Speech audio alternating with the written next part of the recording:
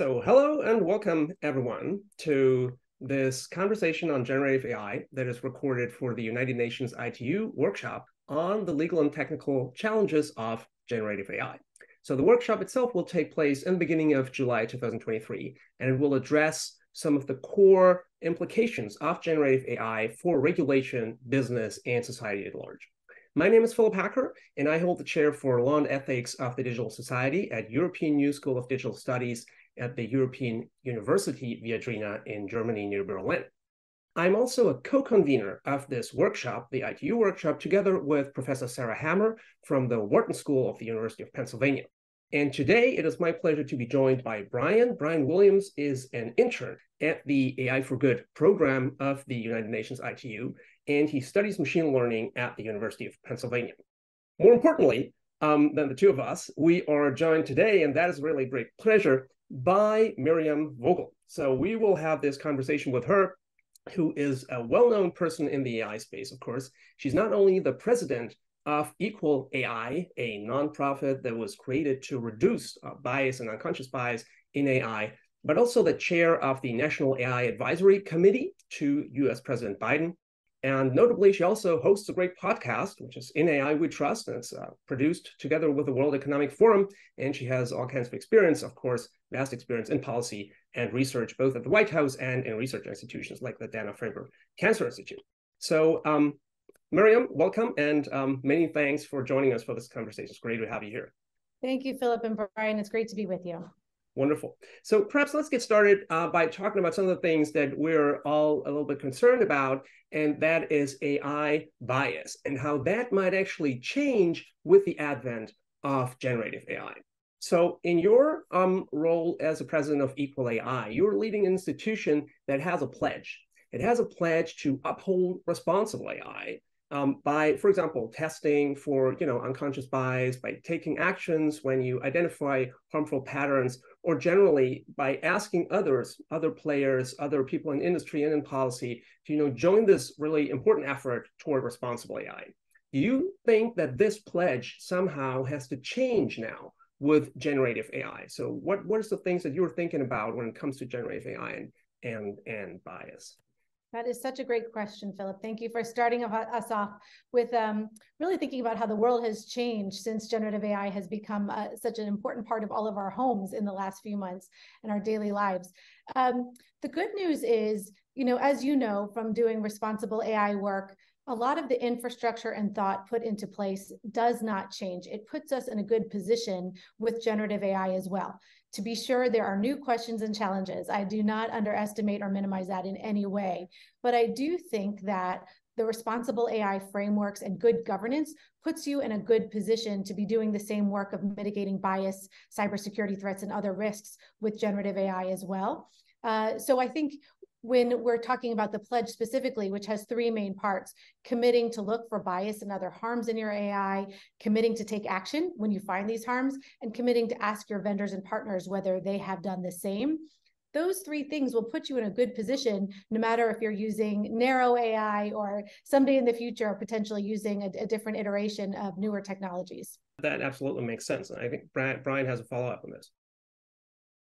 I guess this is kind of related, but could you talk a little bit about the traditional AI models and generative AI models um, exhibit bias and discrimination and how those ways differ, and then how we can kind of deal with those differences? Yeah, so I think, you know, certainly not with your audience here who's so sophisticated, but I think for many people, there's a misunderstanding that generative AI is a wholly new animal, which you all know it's not. It's it's much more uh, sophisticated. It's much more user friendly in so many ways. But at the end of the day, there's algorithms that have been trained on data. Uh, granted, many, many more times the amount of data. The ways that you would find bias and other forms of discrimination would pop up in similar ways. It's been trained on language. It's been trained in a way that reflects our societal biases and, and flaws. And so, you know, we need to be mindful of how we're building these systems it's the same mindset, whether it's generative AI or more narrow traditional forms of AI. Uh, that said, it is harder to mitigate. So I would say the identification part remains consistent. Mitigation is going to be much more challenging given the unlimited amounts of data that are now being uh, used as the basis, as the machine that is training these, these systems, and, and the number of people that are now also iterating and adding their input and, and potential biases. So I, I think that identification place is the same, I think, or very similar and, and, good models for and foundations for how we will use generative AI testing and responsible governance going forward. I think really the question becomes the mitigation piece. How do you correct for them when you don't have as much uh, control over the data sets and, and know even who all the users are and what kind of biases they'd be bringing in? Um, but kind of shifting um, sides to look at it like the brighter, the potential brighter side of things. Do you imagine any ways that um, generative AI could be used to actually foster equality in business education. So any like the positive benefits for equality in business education with generative AI. I absolutely do. I think that's why I'm so excited. I, we at Equal AI are AI net positive, meaning we are very aware of the risks and the potential scale discrimination and other threats that we are uh, putting out into the world. But I also believe strongly that we're at this critical moment where we can realize a better future. We can use this powerful tool to create opportunity, whether it means creating ways to hear people whom we haven't been able to hear before, whether it's language that, that has been a barrier. Obviously, we've seen already AI so helpful in helping us communicate and speak and learn from one another and to one another, in addition to those with speech impediments and other disabilities, where AI is such a great tool to help us hear and see people that we haven't for too long. Um, I think that if we are intentional, there are ways to use AI to help us detect discrimination. I think it's too easy to say AI will fix everything, but if we unpack that and think about what that means to use AI as a tool for good, to think about how we can create an amazing tutor for, for our kids to be learning from beyond what they could have access to, particularly in remote areas. But we have to be careful. We have to know that they need to have access to systems, they need to have access to Wi Fi. Um, and we need to be deeply careful and intentional as we're using it as a tool whether it's for education, whether it's for upskilling and training to make sure that uh, the autocorrect language is not teaching us sexist, racist, and, and other forms of discrimination in as we are using it to better ourselves. And indeed, there is great potential um, if we do this right. And we have to get it right because it is being deployed everywhere on this planet and it will make a huge difference. Um, EU lawmakers are trying to get things right at the moment with the AI Act, but uh, also on the global level, there was a meeting uh, of the G7 leaders in Hiroshima um, just a few weeks ago and looking a little bit at the policy side of this, in which you're also very, you know, uh, versed and, and invested. I was wondering if you could comment uh, a little bit on what your take is on the G7 Hiroshima AI process, which was launched at the Hiroshima meeting and in which the G7 nations committed to working together toward a responsible AI framework. Would that be a lever? Would that be an avenue, perhaps, for integration, you know, international outreach of these more inclusive practices? Absolutely. I'm so delighted that we are seeing more of these international conversations because the risk here is that while lawmakers are trying to be more thoughtful and not, uh, you know, really do us the disadvantage of not being prepared, not having regulations and, and thoughtful policies in place. The risk is that if they do too much alone, that we're almost in a worse position. Uh, as we know, AI has no borders. And so trying to construct it in such a way or pretending that there can be legal boundaries is really not helpful. It's really uh, counterproductive in so many ways. And so I'm delighted to see that we're having these conversations and that they're thinking about the most interesting and complicated issues here of governance and intellectual property rights I'm so delighted that the Hiroshima process has started to tackle this um, and, and create consistency because you know in intellectual property alone you know how can you know how to operate? How can you know either how to build an ai system or deploy an ai system built by somebody else if you don't know uh, whose rights you're violating and what the rules of the road are so to speak so this is absolutely something that should be discussed in the international fora as has already started with the hiroshima ai process and other places the ttc and other places you know, the Hiroshima process is, is only just starting, but in the EU, uh, the proposal for the AI Act came out in April 2021. And uh, just very recently, the EU Parliament passed uh, its position uh, on the AI Act that will be the basis of the trilogue for the next half year until just about Christmas to finalize the EU's position on the AI Act. So uh, one of the things that we keep hearing uh, in the EU space, because you mentioned, you know, AI has no borders, and obviously it doesn't. But one of the things we keep hearing is that there might be this Brussels effect that we kind of know from the GDPR, whereby uh, the GDPR set some standards and it was copied, or at least uh, it was to a certain extent emulated by other countries, were modeling their uh, data protection rules on the GDPR. Is this something that plays a role in the US policy space as well, where, where people would acknowledge that this could happen, that more countries might follow suit? Or do you think that the AI Act, eh, you know, might not have such a strong Brussels effect whereby, you know, it inspires other nations to actually come up with similar regulations? I think we can fully expect the Brussels effect. And I think for that reason, the start of this process in itself to develop the EU AI Act has had a tremendous impact. I think few years ago, people didn't expect there could be AI regulation. Um, you know, they saw some stumbling in the U.S. We, have seen it here. Our inability to, you know, create sufficient privacy regulations and, and clarifications policies uh, and and I think if you're looking across the globe it seemed hard to imagine uh, policymakers prepared to take this on so I think even the start of the process was a critical moment for uh, the, all of those that were both building and licensing deploying AI to understand that there was going to be governance uh, by the various regulatory bodies across the world. So I think even it, the process and the, the seriousness in which they've been putting to creating their rights-based approach, categorizing uh, has and and sharing the drafts has been instructive and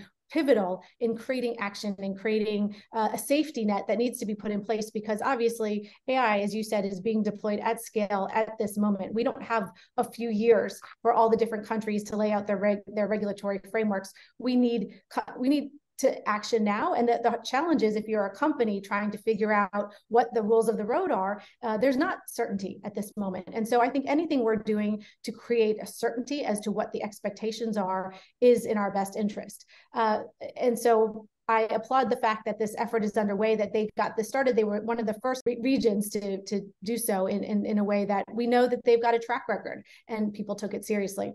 I think that going forward, there's going to need to be iterations. And I think I respect the fact that they are being careful, uh, knowing the power at their fingertips and knowing that there will be this Brussels effect. So if there was sticking with the act just for one final thought, if there's one thing you could change or some things, what what would be uh, things you would come up with to perhaps make that act even better?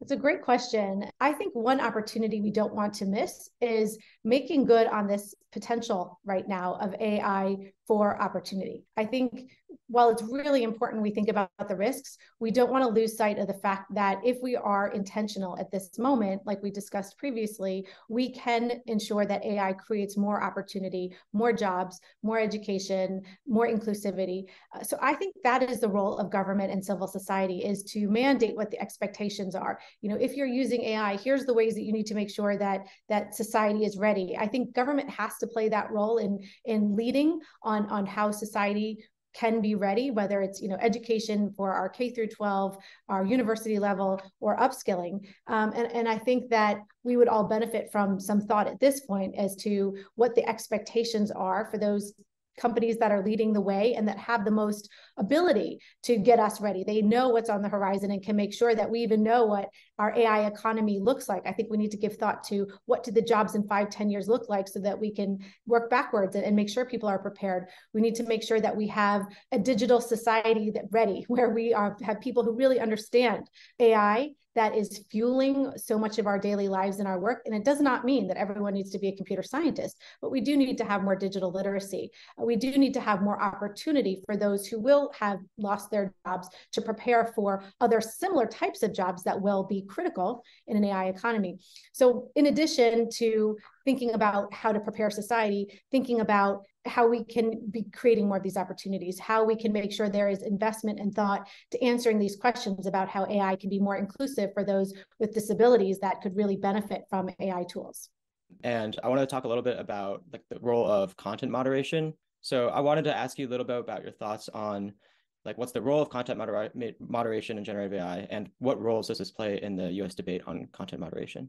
I do think this is the area where generative AI really takes us into another realm because we can't tell developers who we can't ask them who is represented in your data sets and who's not represented, who's over and underpopulated in the same way we are able to before content moderation. I have two daughters and I am uh, constantly thinking, worrying about what, what they're being exposed to, uh, even if we are intentional in our house, even if we are trying to moderate in our own world the content that they are um, being exposed to you know, I think this is something that's going to take a lot of deep thought. I think this is an area where we need to have a multi-stakeholder process where we have industry, uh, government, you know, private par public partnerships where civil society comes in as well and helps together answer these questions of what are we exposing ourselves to and our next generation? Uh, what kinds of impacts are we having on their brain we need to understand psychologically we've seen some of the harms we need to continue to be thoughtful and track uh, the implications of these new technologies in this new world that we've dived into head first. Uh, and it needs to have regulatory piece, but we also need industry playing a role uh, because as you know, they're probably 10 years ahead of us in terms of what we're seeing in the public. You know, chat GPT was under iteration several years before it came out. And likewise, they know what's coming down the road. So this really needs to be something with those who are building it, the academic institutions coming in and playing their role, government understanding the policy side, and civil society continuing to ask these questions about how broadly it's impacting us and, and if we're going in the wrong direction and, and how to continue to iterate so that we don't fall off the rails like one final question. Um, due to the popularity of all these generative models what kinds of resources do you recommend for listeners who are interested in responsible ai or ai policy Thank you for that question. I think what we all need to realize now is that thinking about how to use AI, thinking about what the challenges are, what the risks are, it is now all of our problem because we are now using it. It is a role that each of us must play. Um, and so I think that we need to educate ourselves. I think everyone needs to be playing around with these generative models and, uh, and, and understanding what are we working with? Looking at how exciting it is, looking at, you know, writing an article in your own words and, and, and having a basic draft is great. Uh, but what I've done with my daughters is shown this is a very thoughtful answer and you can regenerate and look at different answers. But you also need to look very carefully because there's wrong information in here. There are these hallucinations and there are these very uh, confident answers that are not always true. And so, what a great life lesson if we use it in the right way.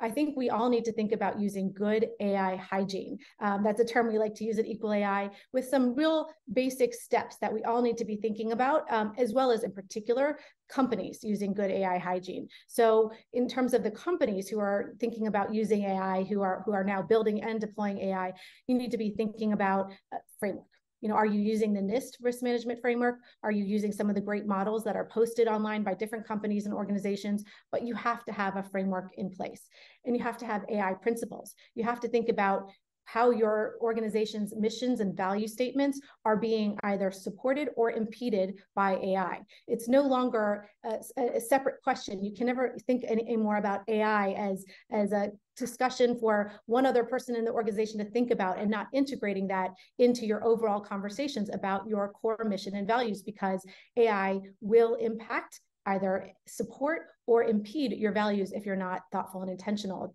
going forward you need to be thinking about accountability at the highest levels. There has to be somebody, if you're using AI in pivotal functions, if you're using it uh, in hiring, if you're using it in ways that are making financial determinations or any other pivotal functions, you need to make sure you have somebody at the highest levels in your C suite, if you're a company, deciding uh, these main basic questions about your framework looking at how often you're going to test with the continued iteration of AI, thinking about uh, as these new challenges and risks come up, uh, that you have a plan in place, that you have new uh, processes in place, and that people feel safe, frankly, to bring these risks to your attention so that employees know, um, that your public users know you want to know what these challenges are and you want to address them.